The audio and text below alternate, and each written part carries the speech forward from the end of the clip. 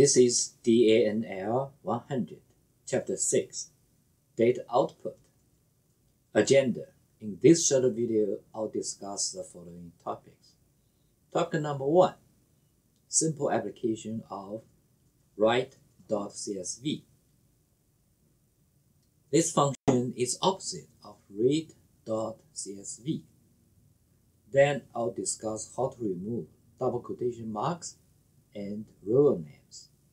Topic number two, write table. Write dot table is opposite of read dot table. Topic number three, save versus write RDS. The last one is save dot images. Because the chapter six is part of week 3. So we type source http and rpy week 3 txt. And so this is chapter 6 data output type dot, dot c6 okay the first one is list of possible format. Okay, use up arrow key. You enter one. Okay. Uh, for the CSV, we can use write.csv, write.table, and for the text file, we use write.table. Okay, for the R data set, we use save function. Okay, RDS, we use save RDS. I think we write RDS. So let's see. Okay. And then I'll discuss about save images. Again, type C.6. So let's look at the first one. Write.csv. Okay, so dot C6 2. Okay. Um, so let's uh, use very simple one. Okay. X equals 1 to 100 write.csv. So let's save to our current working directory. Okay, x equal 1 to 1000 write csv. csv x then file name. Okay, so let's test csv. Okay, and if we type .dir, then we will see our test file. You see the test very small test. You see the test.csv. Suppose we, we can call it the test2. Okay. So test2 CSV. Then we use dir. Then we'll see the test2.csv here. Okay. So let's make a little bit complex one. Okay. So let's load our data set And we are going to assign a value to A. Okay, and so this is load, and because this is our data set, so this is our data set, and also because it's remotely, so we have two functions. One is load, another is called URL. Okay, we combine two functions together. Okay, uh, we assign this one to A.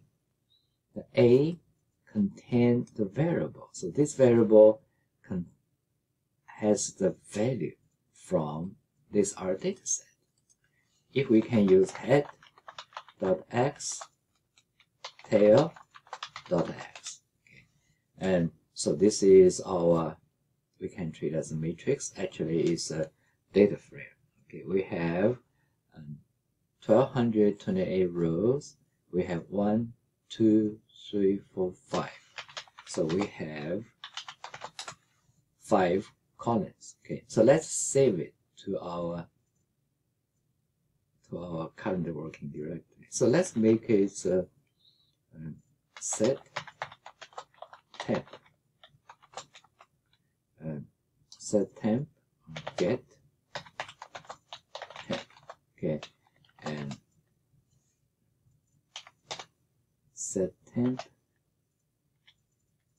get working directory. So let's look at our current working directory, And temp, it's empty. Okay. Uh, we have current working directories. We go to temp. It's much easier uh, because it's empty now. So let's save it, right? Dot CSV. Okay, we're going to save as a file. So let's call test dot CSV. Okay, we make it as, as simple as possible. Okay, write.csv. This is our data set, and this is file out file. So this is out file name. Okay, so let's look at the structure of this data set. Okay, we go. So let's get WD. So C user, if we use a Mac, you don't have this one. You simply have users, your username, document, then if you generate, you use dir dot create, then you can generate a subdirectory. Okay, so let's go to the this specific lo location. C user yn document document and temp. Okay, so we only have one file, and suppose I use uh, I can use the uh, Excel file to open it. However, I think Notepad is much better. Okay, so this is our structure. So this is our data set. Okay, and if you look at the data set carefully, you see there are so many double quotation marks. Okay, and these double quotation marks are redundant. Okay, another one, another observation is we have extra column. So we have one, two, three, four, five, six. Now we have six columns. Our actual data has only five. Okay, um, one solution is we can we can write our data set okay, and called quote equals false. Okay row dot name equals false. Okay so let's save it as test2 it's purely for comparison okay? So we write dot csv so this is our input data and file test2 dot csv okay so quotation mark will not record any quotation marks. And also the first column we were not going to record the first column, Okay, and we have two. We have two. So let's use uh, Notepad to open. Now this one is much better. Okay, so this is the first column is date. Second column is market return, money risk-free rate, and small minus b, high minus low risk-free rate. Okay, so every observation, we have one, two, three, we have five data items, and we use four commas to separate them. Okay, so this is uh, topic number one. We how to use uh, write.csv to save our file. Okay, topic number two. So let's look at write dot table. Okay, and uh, we we saved write dot table. BLE. Again, we always start the simplest one. Okay, file test three txt. Okay, we don't have any other variable. Okay, we write dot table. So this is our data set. So this is our file, output file. Okay. As I mentioned many times before, extensions are not important. However, we should have good extensions. Okay. Actually, the file can omit as well. Okay, so this is very, very simple, right? Write dot table, data set, output name. Okay, so let's look at the test3.txt. So we have 3, just click.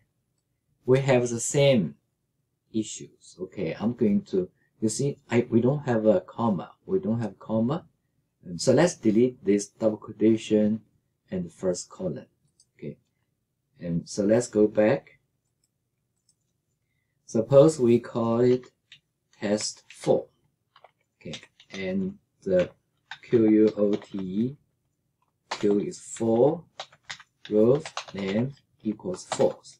Okay, and we don't need double quotation marks, and we don't need first column, rows column. Okay, so let's look at test 4. So this is test 4. Okay, and you see this the structure is quite similar to the test test dot csv Okay, the only difference is I think it used tab. Okay, it used tab. Okay, and so let's try another way to do it is we specify SEP equals we specify separate SEP equals double quotation double quotation star double quotation suppose we save called test 5 okay the only thing between 4 and 5 we specify which symbol is used to separate our data set.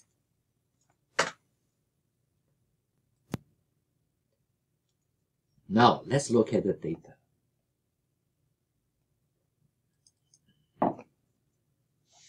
This is quite similar to previous one. The only difference is we use star and we use star in the place of tab.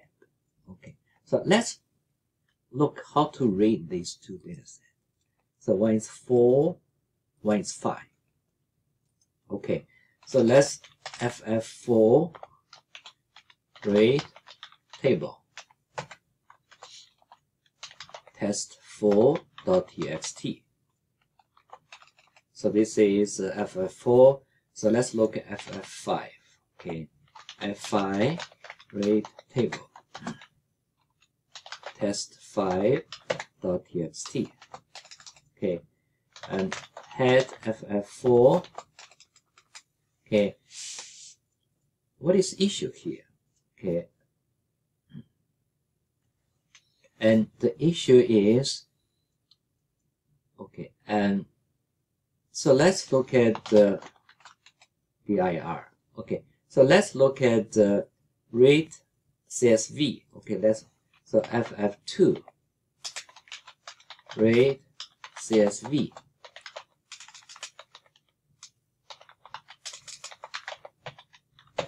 Okay, so let's read this one.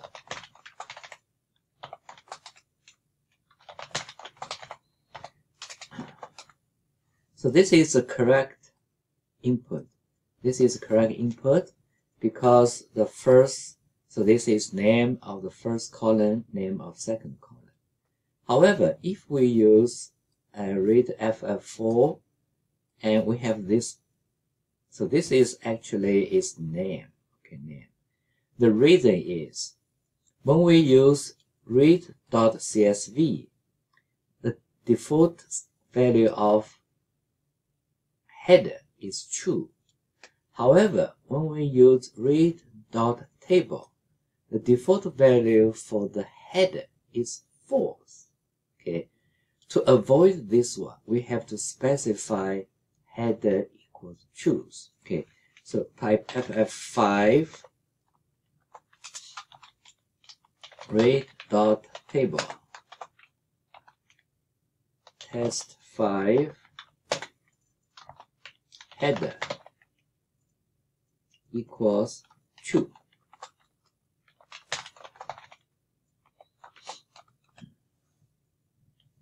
Sorry, we should read 4. Okay, 4. 4. Okay. Okay. Uh, I compared the FF4 with uh, test 2. Okay, I repeat. Okay, if we use apply read.csv, one of input value called header, its default value is true. However, if we use read.table, the same header variable default value is false. Okay, how can we confirm this uh, issue? Okay, read table. So we can type help read dot table. Okay, so if you look at here, okay, so read dot table, the header, the default value is false. If you look at read.csv, the default value is true. Okay, I call this inconsistency. If I design these two uh, functions together, both should be head equal false, both should be head equals truth. Okay, I repeat. When we read the, when we apply the read dot table, the one of input value variable called header, its default value is false. However, for the same or similar read.csv function, its header is true. Okay. Okay, so let let me try it one more time. Okay. A, suppose I use read dot table. Okay, A equals read dot table. So let's read exactly same same data set. A read uh, CSV and test2 dot CSV. Okay, so read dot CSV. Okay, so let's apply exactly same table. Okay, because I have to specify separate equals comma. Okay, and I use read dot table to read a CSV file. Okay, then I have to specify is the separate is comma. Okay, so let's look at the B. Okay, then we have the, this extra one. Okay, we have deleted this one, and because it treats the first row as true data. Okay, to avoid it, then we have to specify header equals true. Then the problem disappeared. The problem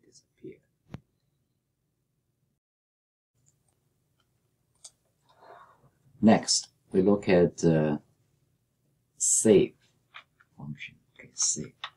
To save our dataset, we type C6, and here's the save and our dataset. So C610. Okay.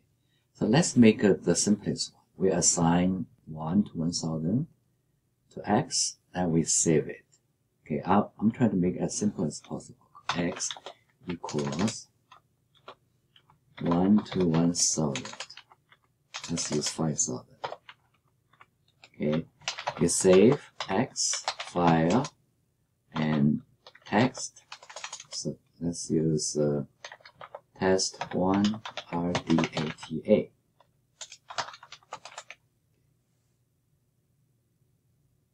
Save x file equal oh file f i l e file okay?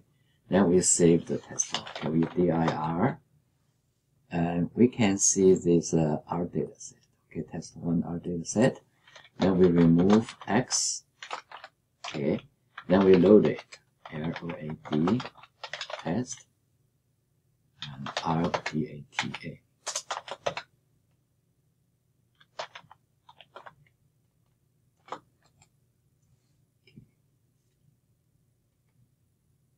sorry test one rdata okay and because uh, we we know and uh, underlying variable is x because we generate x from 1 to 5000 however just imagine you send your R data set to another fellow student or co-worker they have no clue about the underlying variable name. Okay. Then we assigned A. So A equals load test one R data set. The A contains the variable name. Okay. Then we can we can look at head and tail of our value. Okay. Head tail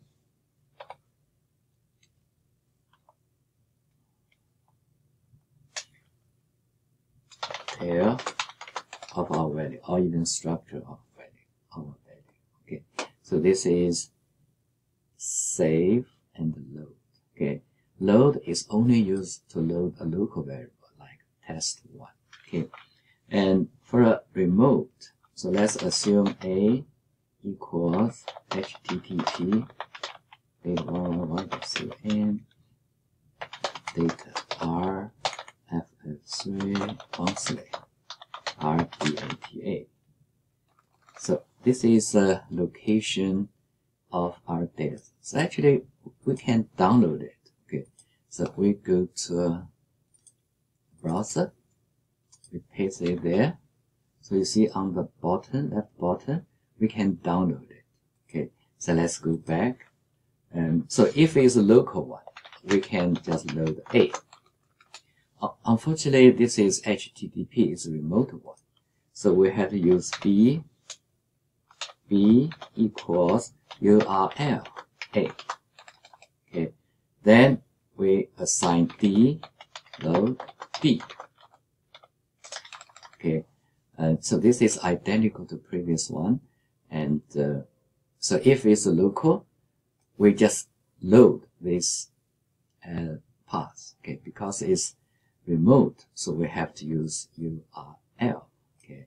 And again, extension is dot .x, then we can use head dot .x and tail .x. Okay. So this is a save and load. And for load, we apply load function. We can upload our data set if it says locally. For the remote, we have used combination of LOAD and URL function, two functions together. Next, we look at uh, another pair, save RDS and read RDS. Okay, so dot C6 11. Okay, um, so we can use uh, how to save it. it is save data set and file name. Okay, so let's uh, let's make it very simple. X equals one to four thousand. Okay, Equals one thousand. We say we, we can save RDS. Okay, so X okay, equal test two RDS. Now we remove x. So let's let's load it. So let's use a and read RDS. Okay. So this is test test two RDS. Okay. Okay. We use head. Okay. This is quite a different. This is quite different from the previous one. Okay. So this is radius, remember? So let's let's compare. Okay, A, uh, we, we generate some function. Okay, um, okay, this is simplest one. We have data set. We use uh, file equal test RDS, and when we read it. And this is quite different from um, load. So let's make um, because remember we have this called u load url http data 111 and data r and ff3 concept rdata so we combine these two together okay a contains the variable name dot x we use dot x. Okay, so let's look at exact same thing. Okay, so let's use read RDS. Read RDS. we have exact same, so this is RDS. Okay, so let's look at the A. Okay, um, so this is difference. Okay, and so this is our data set. This is also our data, data set. This extension with RDATA saved with uh, save function. Okay, so this is RDS, a save with save RDS. Okay, both are our data set, but they are generated with different function. Okay, so if we use A equals load URL, it generate A contain the variable name. Then we type, we type head variable name, we get a data set. However, if we use read RDS, same thing, okay. Read RDS will read local RD, RDS dataset directly. If remotely, we use RAD RDS URL, okay. Then we assign both, we assign both to A and both to A. However, for RDS, A, it is the dataset, underlying data set was assigned to A. For this case, the name of underlying data set was assigned to A. So these are the difference. Okay. Another difference is when we generate multiple datasets. Suppose present value equals 100, R equals 10%, N equals um, 5. You see, we can save we can save present value rn phi equals so let's call the uh, test RB88. Okay, and you see we saved present value R in code file. Suppose with A load as 10. Okay, if we load it, so if we load it, we know we upload present value R and N. So let's try to save these three values. Okay, uh, save RDS.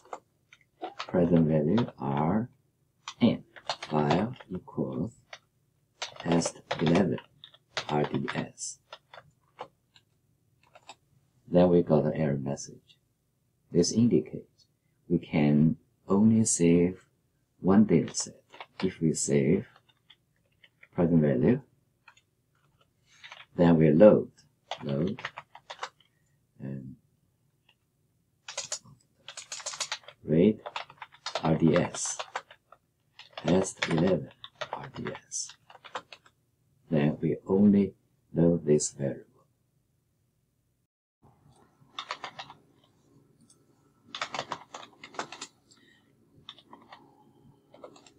The last one is about save image. Okay, the save image will save everything. For example, we have, so let's look at it. Suppose we have A, we have B, we have D, we have FF2, we have FF4, we have many, many data set here. And suppose we have BD function. And X and 2x. So this is called, we call a double function, right, from chapter 2. So let's generate one more, present value function. Okay, so this is keyword. Uh, keyword function is future value r n future value divided by 1 plus r power is n. Present value function 110 and 2. Okay. And suppose we have we have 10, 11, 12, 13, 14. 14 objects are called object. Some are variable, some are functions. We want to save them all. We want to save them all. Okay, suppose we're working for a project. We have 50 variables and 20 data sets. We have like a dozen functions. Okay, we want to save them all. Okay, just save image. Save image and I can call all RDATA. Okay. So let's remove them all. Okay. Remove LIST equal LS.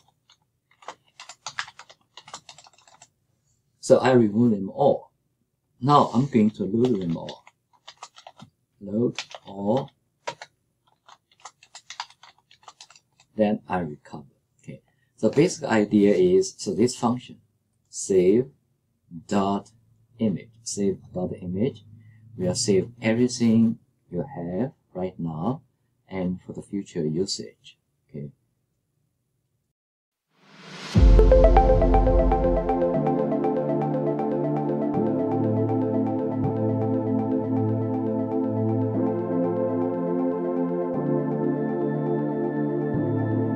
Shutterstock Music.